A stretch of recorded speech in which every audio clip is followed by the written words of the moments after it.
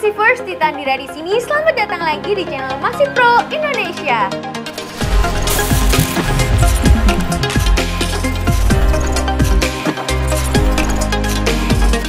Kalender adalah salah satu benda yang wajib banget harus ada di rumah.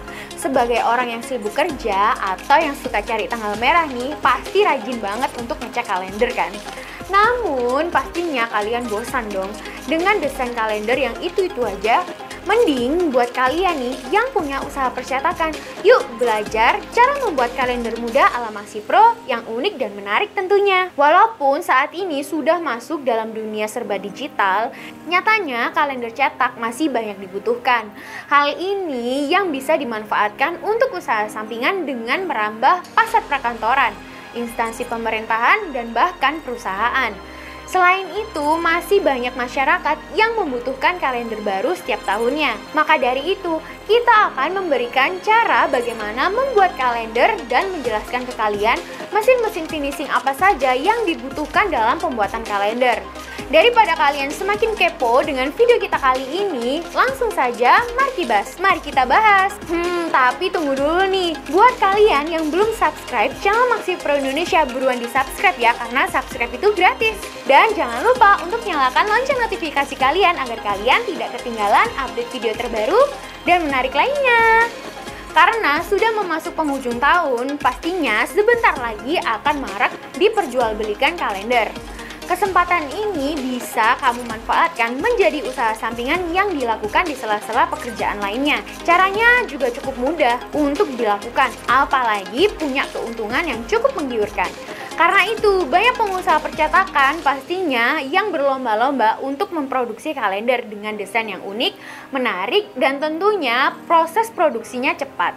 Kali ini kita akan membuat kalender duduk ala Maxi Pro dan tentunya kita juga akan merekomendasikan ke kalian nih beberapa mesin finishing yang dibutuhkan dalam proses pembuatan kalender ini. Tidak hanya itu saja, pembuatan kalender ini prosesnya cukup mudah loh. Kalian juga pastinya bisa melakukannya. Oke, dalam pembuatan kalender ini kita membutuhkan beberapa mesin. Di antaranya yaitu yang pertama, mesin laminasi ML375 WGK conveyor. Yang kedua, kita menggunakan mesin potong kertas Telson MP680ST. Yang ketiga yaitu mesin lem GM 700 Plus. Yang keempat, kita akan menggunakan mesin hardcover press and fold yang kelima dan yang terakhir yaitu kita akan menggunakan mesin jahit spiral 2-in-1 SJ. Nah, untuk bahan-bahannya nih yang akan kita butuhkan, yang pertama yaitu kertas art paper, kaos spiral, dan board.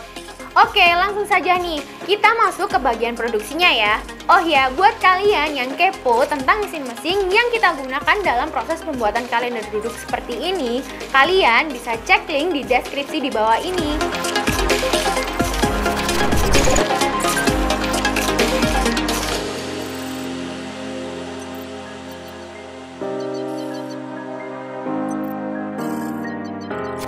Jadi, untuk pembuatan kalender duduk seperti ini, langkah pertama yang harus kita lakukan adalah yang pertama yaitu kalian harus mendesain terlebih dahulu isi dan cover kalendernya kemudian cetak dan barulah dilaminasi agar terhindar dari kerusakan. Yang kedua yaitu setelah terlaminasi bagian isi dan covernya baru kita melakukan proses pemotongan agar terlihat rapi.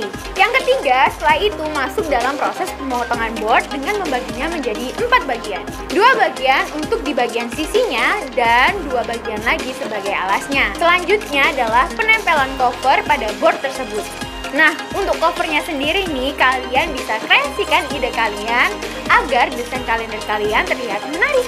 Caranya bersama dengan jilid hard cover. Namun, jarak antar board dibuat agak lebar agar saat dilipat, cover yang ditempel tidak sobek atau rusak. Letakkan cover di atas meja dengan bagian muka menghadap ke bawah. Tempelkan board pada bagian atasnya. Di sini kita menggunakan mesin lem GM 700 Plus ya dan mesin hard cover press and fold. Lalu lipat dan tempel pinggir cover sesuai dengan ukuran board yang telah ditempelkan tadi agar posisi board terkunci. Pada bagian atas board tadi, kita tutup juga dengan cover sesuai dengan warna yang diinginkan. Setelah bagian depan dan belakang kerangka tertutup oleh cover, selanjutnya kaki kalender dan isi kalender tersebut kita lubangi ya. Untuk kaki kalender ini dilubangi kedua sisi atas dan bawahnya dengan menggunakan alat spiral. Nah, di sini kita menggunakan mesin jilid spiral 2-in-1 SJ. Sehingga lubang spiral yang dibuat tersebut akan bertemu saat kaki kalender ditaruh di atas meja. Kemudian siapkan kawat spiral sesuai dengan jumlah lubang yang telah dibuat tadi. Lalu pasang pada kaki kalender dan isinya. Kemudian siapkan spiral sesuai dengan jumlah lubang yang telah dibuat tadi. Lalu pasang spiral pada bagian kaki kalender dan isinya ya. Spiral yang digunakan ini lebih baik menggunakan kawat spiral ya karena lebih kuat. Jangan lupa untuk dicek setelah semua prosesnya selesai. Setelah semua pengecekan selesai, maka selesai pula pengerjaan tersebut. Itu adalah langkah atau cara yang harus kalian lakukan untuk menjalankan dan membuat bisnis sampingan produksi kalender duduk. Jadi kesimpulannya, cetak kalender bisa menjadi pilihan yang menarik sebagai usaha sampingan yang dilakukan di sela-sela pekerjaan utama. Selain caranya yang cukup mudah, bisnis ini bisa dilakukan tiap akhir tahun. Karena bisnis ini bisa memiliki keuntungan yang cukup besar. Sehingga bisa meningkatkan pendapatan finansial kalian.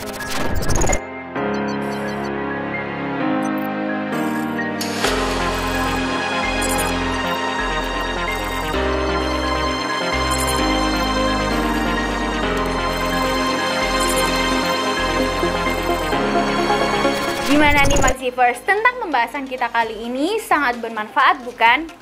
Bila kalian ada ide untuk pembahasan selanjutnya, tulis komentar kalian di kolom komentar di bawah ini ya. Dan buat kalian nih yang masih penasaran tentang informasi mengenai mesin finishing dan teknik finishing lainnya, kalian bisa tulis komentar juga ya. Jangan lupa untuk like, subscribe channel Masih Pro Indonesia dan nyalakan lonceng notifikasi kalian agar kalian tidak ketinggalan update video terbaru dan menarik lainnya. Terakhir, nama saya Tita Andira. Sampai ketemu lagi di video selanjutnya. Bye!